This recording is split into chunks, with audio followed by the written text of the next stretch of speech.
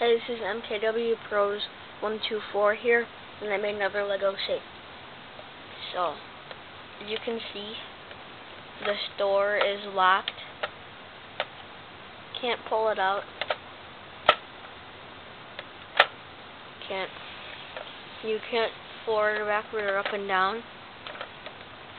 It won't work. So you just come around to the back and this thing right here and just pull.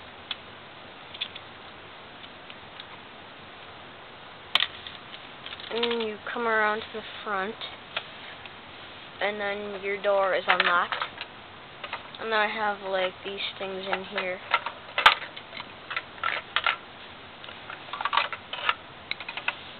See. Just something to put in there. And it's very cool. And there's where you can put your items. And then there's a shelf. And there's smooth pieces in here to help the door slide easier. And up on here too. So I can just put these back in there, but oh, sorry, I only have one hand. It's a little bit harder.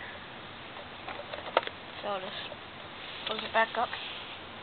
And then as you can see, it's still unlocked until you put this in the hole.